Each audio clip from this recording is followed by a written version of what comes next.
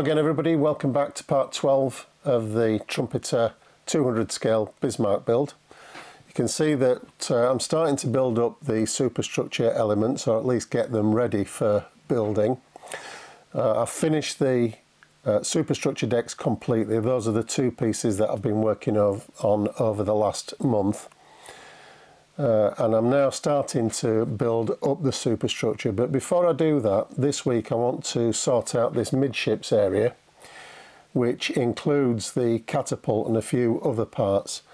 Now the catapult in the Pontos set is completely uh, or it completely replaces the trumpeter plastic parts uh, so I'm going to be working on that uh, this week for this episode. It's quite a complex uh, structure and there's lots of photo etch in there. So we've got another uh, photo etch video but hopefully it should look nice when it's finished. So uh, we've got a challenge again with the Pontos instructions unfortunately but uh, I'll try and work through it.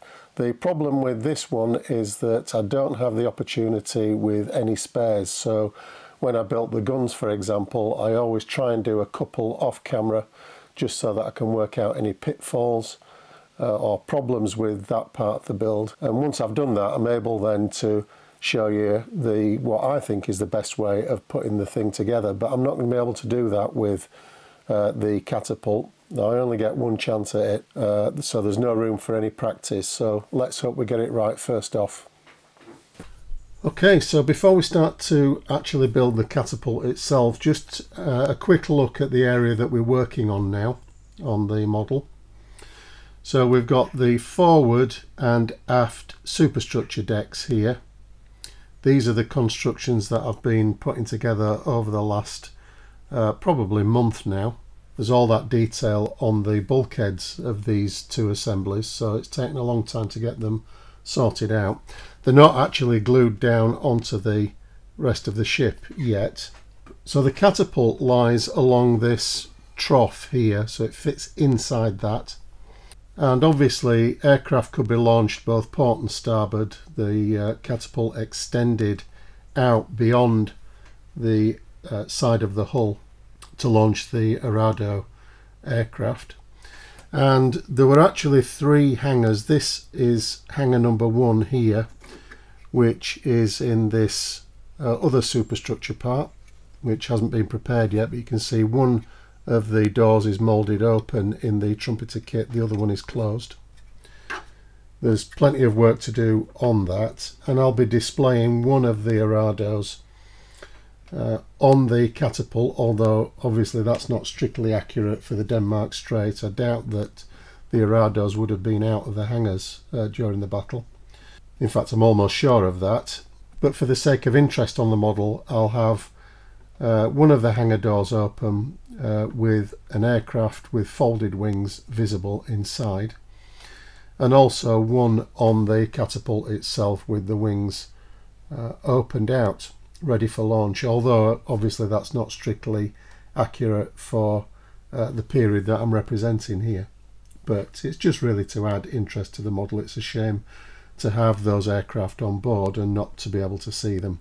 So some artistic or modelling license there. Now you can see here that we've got wooden deck on the aft superstructure and these markings on the Pontos wooden deck are for the hangar rails. So these were removable tracks uh, that were deployed when we wanted to move the aircraft onto the catapult and there were some folding trolleys which are included in the Pontos set uh, which helped to haul the aircraft out of the hangar up this slope and onto a turntable on the catapult itself.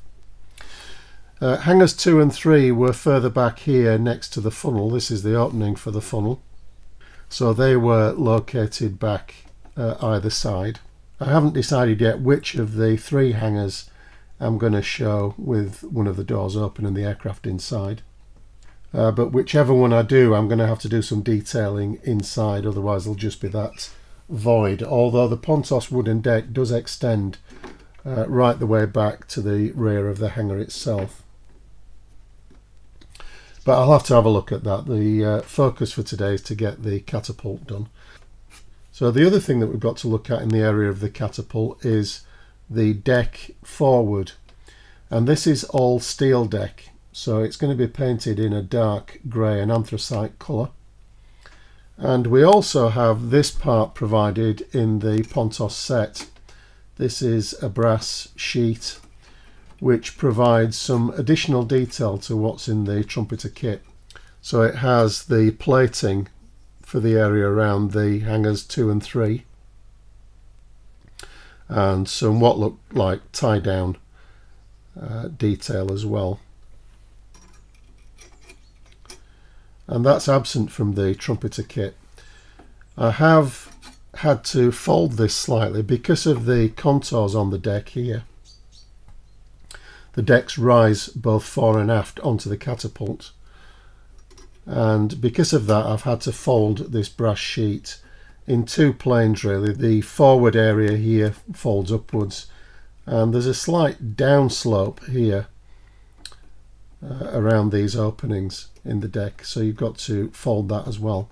And I've folded them rather than press the part down I don't want to put any stress on the glue joint. So that's why I've done the fold so that's nice and flat on the plastic surface.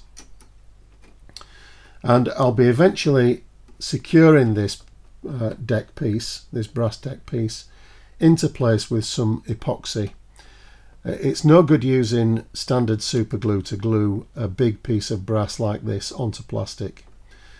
Uh, and that's something that I learned when I was building the hood with the rear screens which were large brass parts going onto the plastic rear screens of the trumpeter kit.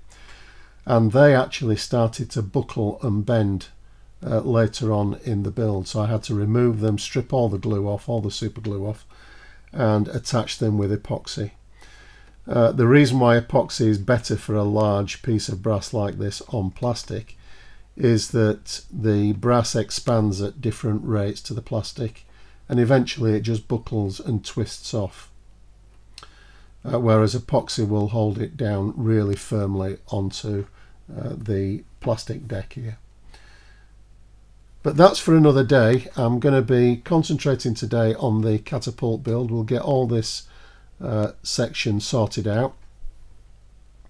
So there's a number of choices for how you can display the catapult area completely folded with the cover plates on it and all the aircraft uh, stowed away.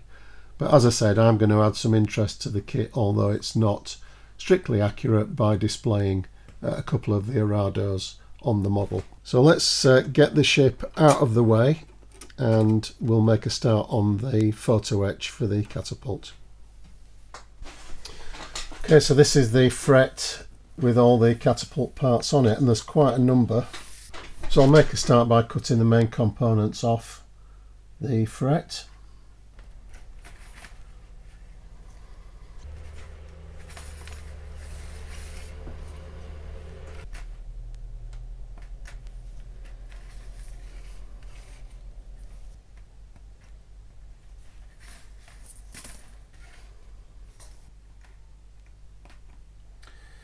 It's not always a good idea to remove uh, the Pontos parts from the fret like I'm doing.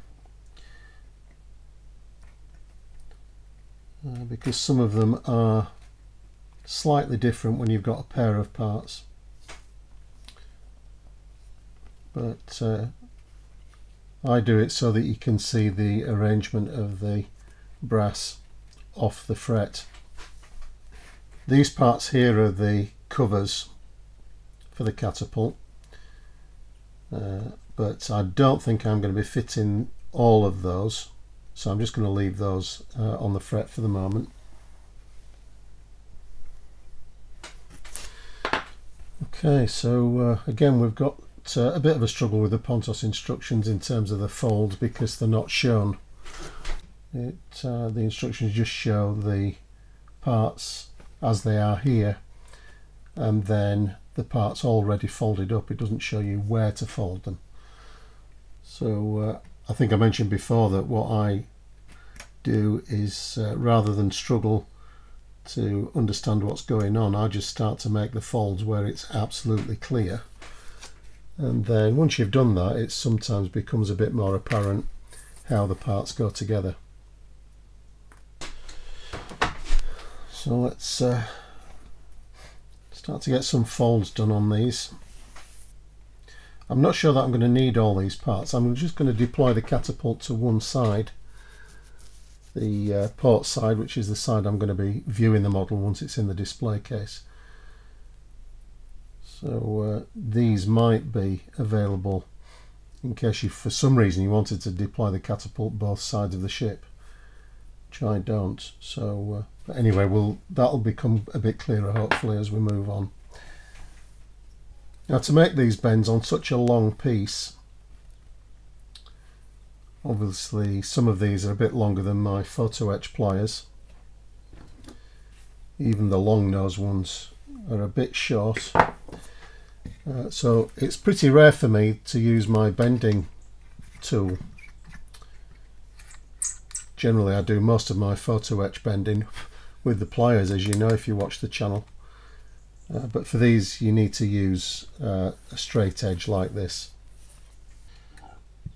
Having said that, the way that Pontos have etched these pieces means that they've got what are called fast bends in them so they're not solid all the way along the fold line there's just little tabs every half centimetre or so.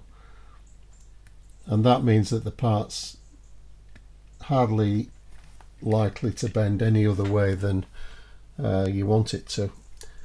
But even so we'll uh, use the photo etch tool.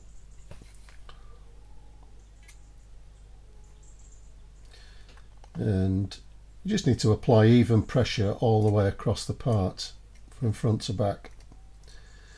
Now with fast bends it's really important not to press too hard because there's a good chance of breaking them. You might be able to see at intervals along the fold line there's those fast bend tabs.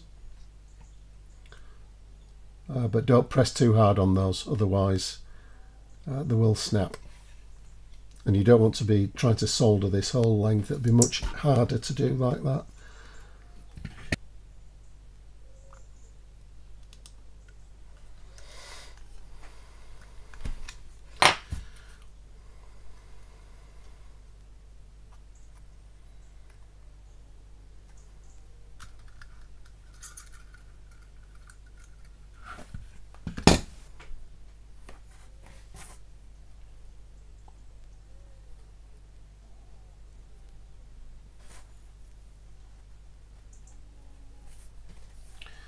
just square that up. The tab at the front comes up. Just making sure that that's nice and straight. There's also an apparent fold at the back here but looking at the Pontos instructions it doesn't show that fold being made at any point so I'm just going to hang fire with that. There'll come a point where it becomes clear that we've got to fold that one way or another.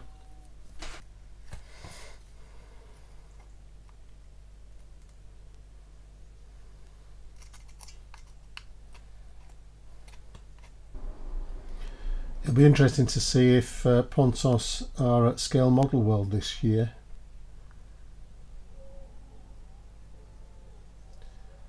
If they are, I promise I'll complain to them about the standard of their instructions.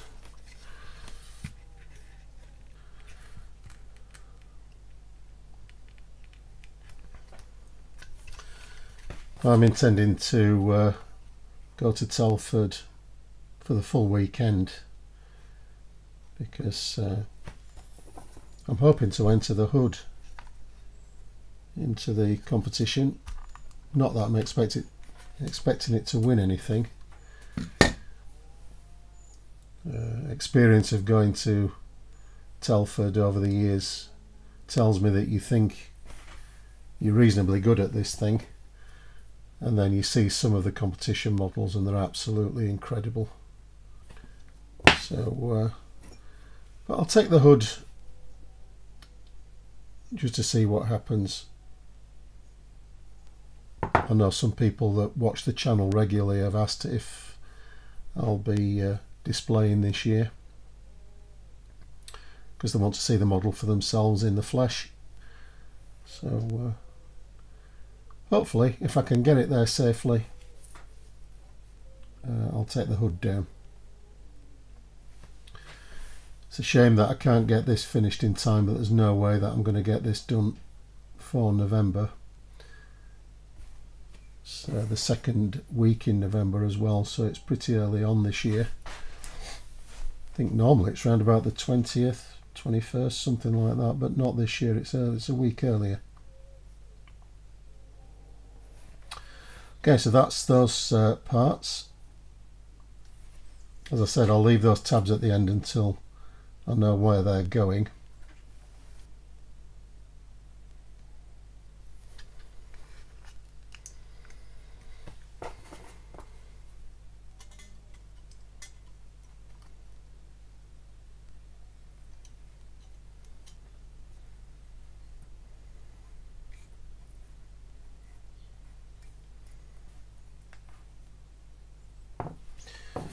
normally on an assembler, as you've seen when I've been building the guns, I usually do one or two off camera to start with, just so I get the hang of uh, how the parts go together. Well, that's not possible. You get one chance with this, so I'm uh, working through it as we go along. So I might make some mistakes. I might be lucky and get through it okay. Now there are a number of turned brass parts so I need to get those out and just uh, see if that helps me work out what goes where. So I'm just going to take one of each of these out for the moment. I think that's all we're going to need to assemble the deployed catapult just on one side of the hull. On the other side this would all be covered up by the plating. So we've four turned brass pieces. So I'm guessing that those are the parts that we're going to need uh, to put this together. So we need some of the smaller photo etch now.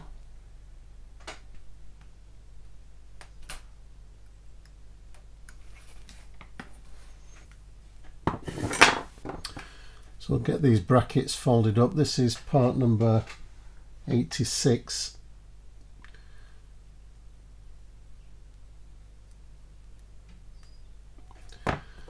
which is basically just a plate. So this is a mounting bracket that folds back on itself with those two flanges at the bottom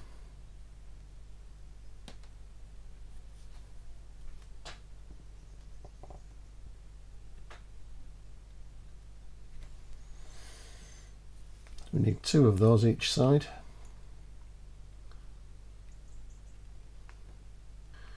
I might get away without the soldering iron actually. I hope so, because I'm not particularly keen on soldering. I started to do it whilst I was building the hood. But uh, I'm not the most skillful at it, I have to admit. But there are some times when you just can't avoid it hopefully I will be able to avoid it with this. I had some positive comments last time about taking photographs of the assemblies as I was doing them just to show you how these bends work close up. So I'll do that in this case as well because uh, the photographs I take will be better than the Pontos ones I can assure you.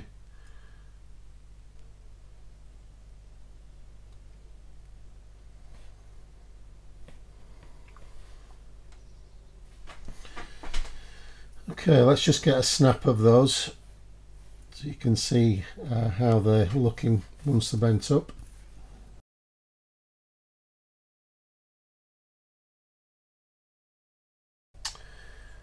Okay, let's try a bit of assembly then.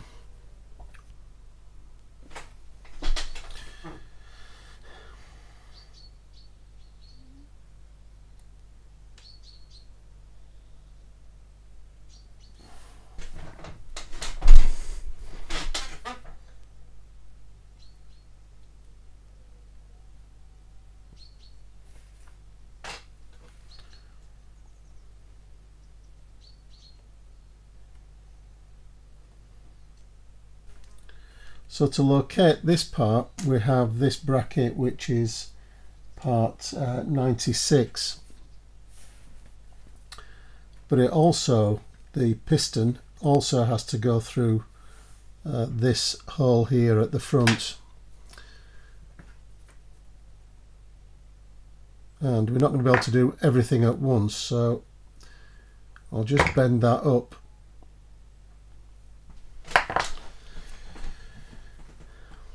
so uh, the piston here should go through that hole. Ah it doesn't. So this is a cradle. So it needs to be folded to form that U-shaped cradle again. So it goes right back on itself. So as you can see I'm just learning as I go along here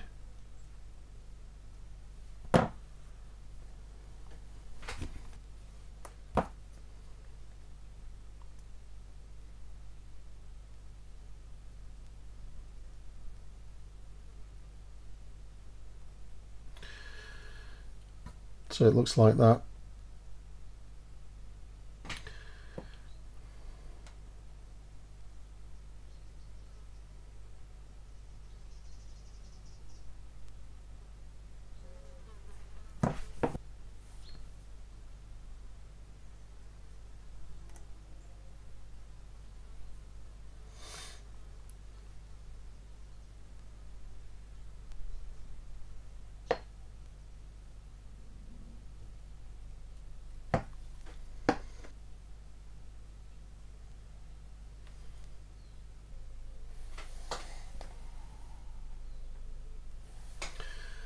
Okay, so uh, that's the first section sorted.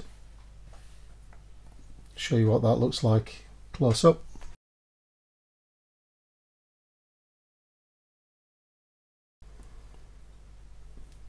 This next part, which is turn brass 27,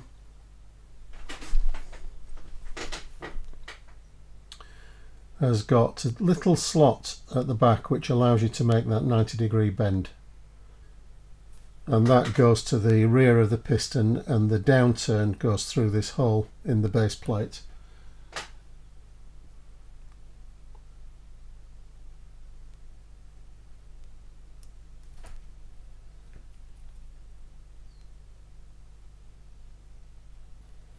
I assume, I don't know, but I assume that that's the uh, pipe for the compressed air presumably that operated the catapult.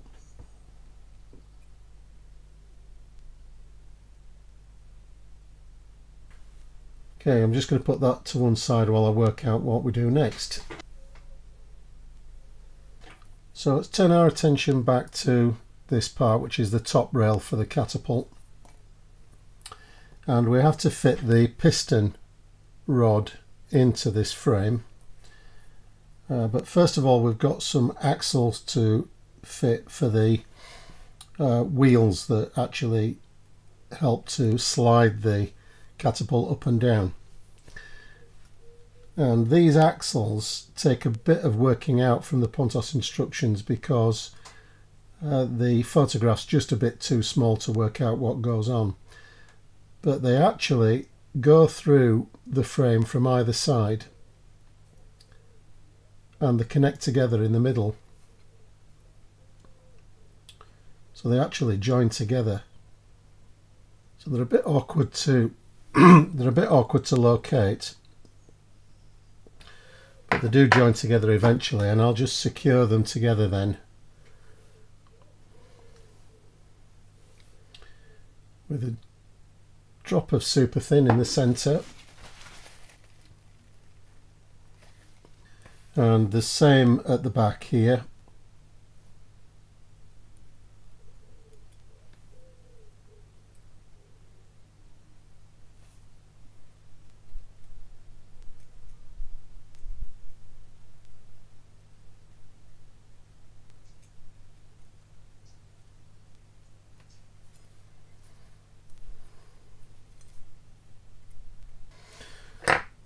They're uh, locked in place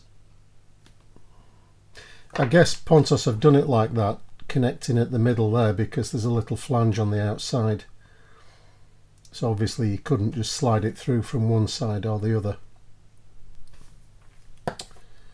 Then we've got the piston to fit. This has got a hole through the centre and this is the axle or retaining pin for it.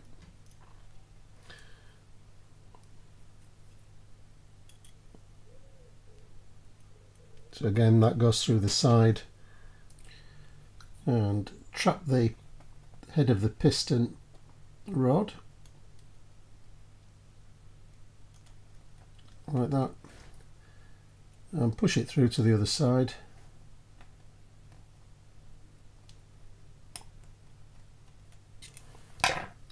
And again just a tiny drop of CA now the thing is here not to actually fix the piston rod into position. Because I want a little bit of adjustment on that.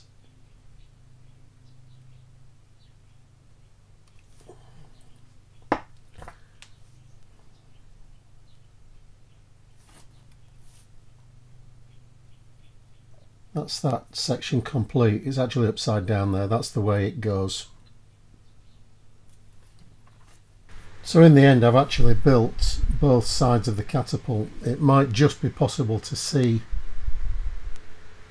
uh, both sides even with the covers on. So I'm just playing safe there. It didn't take long to make the second one up. Once I'd worked uh, worked out how this one went together. There are some small details, some little brackets to fit on the side here. But if I put them on now, they'll just get broken, so I'm going to leave them off for the time being.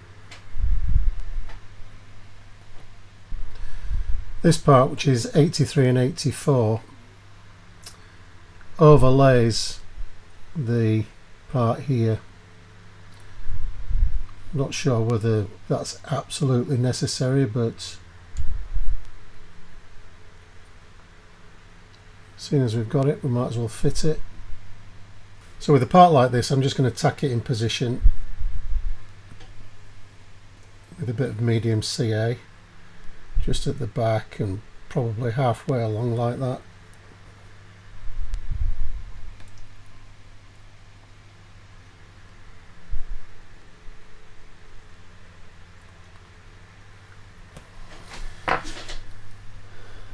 and then again going back to the super thin this is where super thin glue comes in really useful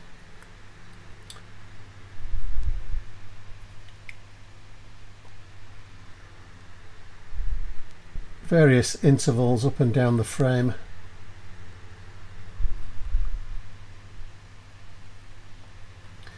And it'll just wick into the photo etch and fix that part in place.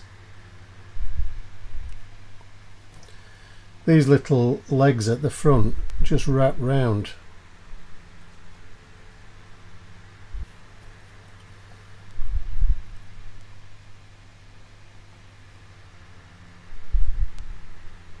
This is where an expert with a soldering iron would be able to just solder this top plate into position but it's uh, beyond me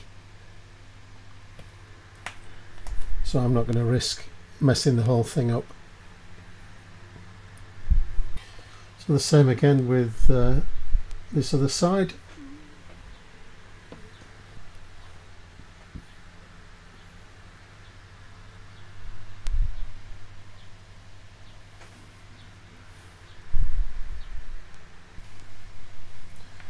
Okay, so those are the top rails done.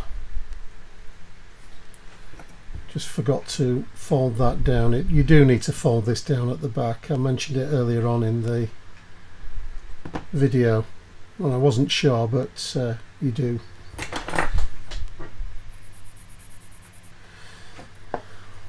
Okay, I'm happy with those. This is the base plate and it actually sits directly onto the trumpeter plastic, the channel that I showed you earlier on.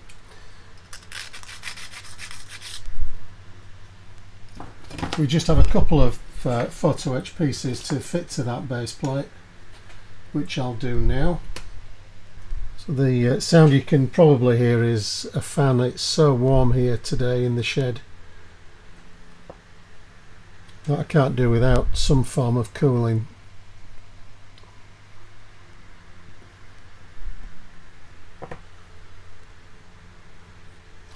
Again we've got to fold that uh, bracket up to form well basically a rib shape.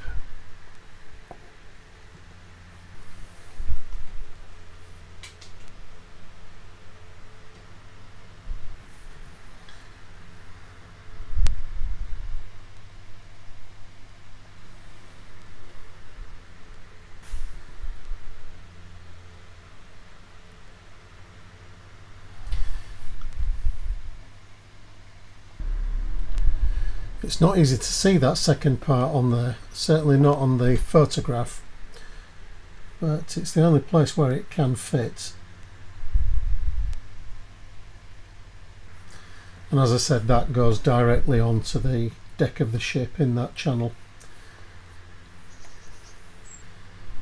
Now I think it's safe enough to put these uh, brackets on the side. There are eight of them altogether across the two assemblies and they're guides for the uh, cables on the side of the catapult. So when bent they just form a very shallow channel. These then just fix onto the side.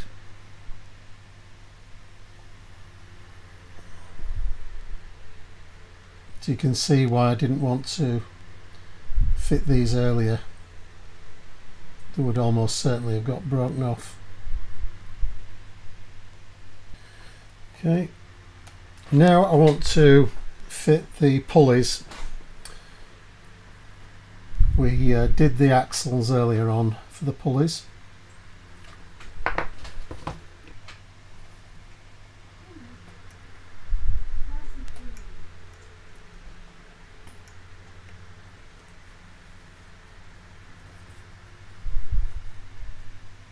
Need just eight of these. Pontos give us 16 for some reason. I wonder if they're on the cranes. So on each pivot or on each axle we need a wheel.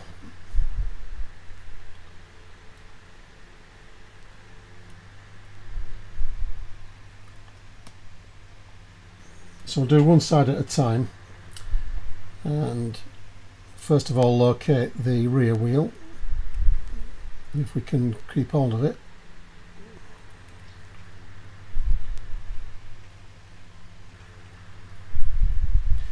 And then very carefully locate the pulleys.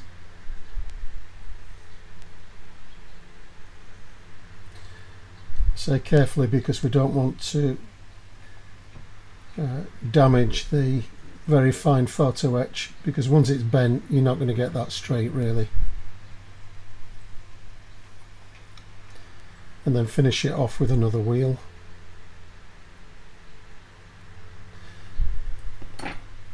So drop of super glue that's medium CA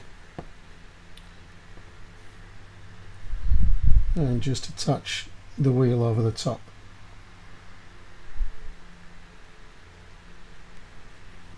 Same for the other side.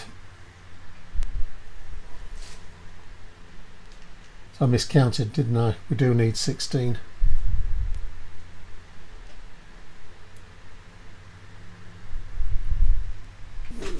So that's all the pulleys done. That's uh, relatively straightforward. If I were doing these again, I wouldn't glue the axles onto the sides of the frame and that would just give a bit of a lateral adjustment uh, for these cables. But uh, we live and learn. Nearly there with this. We've just got a few more bits and pieces to add. I can't identify these pieces in the anatomy of the ship book but they look like a sort of brake shoe. So maybe with something to do with slowing down the wheels on the catapult once it had been deployed but I don't know for sure So there are eight of those. They do go around the wheels, so that's what I'm guessing they do.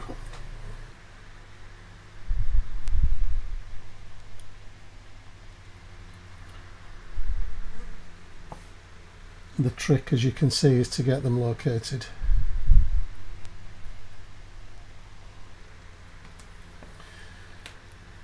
Again, I'll give you a close-up of those if I can get it for the end of the video.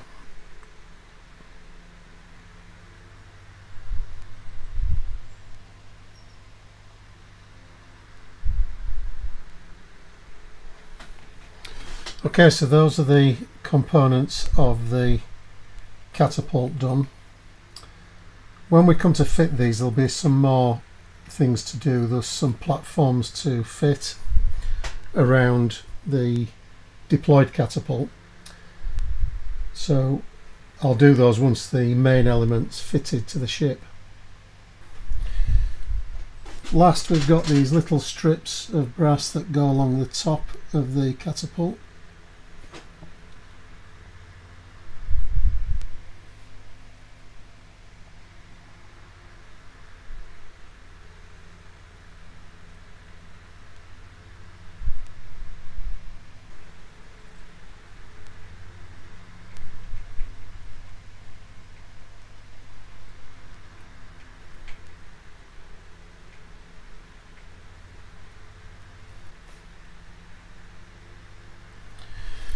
Okay, so they're all done.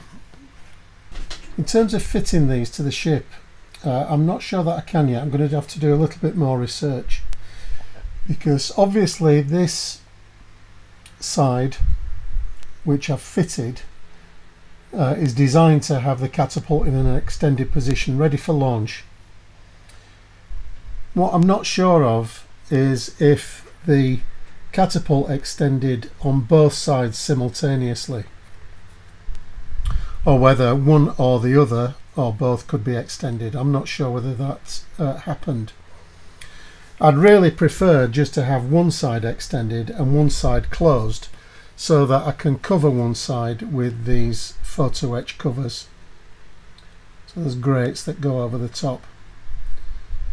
But I can't do that if uh, the mechanism was such that both sides moved at the same rate. So I'm going to have to do a bit of research and check that out. But what I can do is show you what the catapult looks like on the ship. And I'll also get some close-up photographs of the parts as I've built them here. Okay, so here we are with the midships section again and our catapult just drops into the channel here. And you can see how that is now overhanging the side of the ship. So the aircraft will be deployed right out here on the edge of the uh, superstructure deck. But as I said I'm not sure what I can do about this other side uh, because I don't really want both catapults extended like that but for accuracy I may have to. What I would prefer is that this starboard one could be positioned in its stowed state inboard and covered by the platings, the gratings that bridge the gap between the forward and aft superstructure decks. If I can deploy this one in what is effectively the stowed state in that sort of position. All I've got to do is to reduce the length of the piston which is here. So basically cut the rod off uh, and that will enable me to position the starboard catapult inboard like that. Something like that and at that stage I'll cover the gap with the gratings that I showed you earlier on. But for now I'll position them as it appears that Pontos would have us do.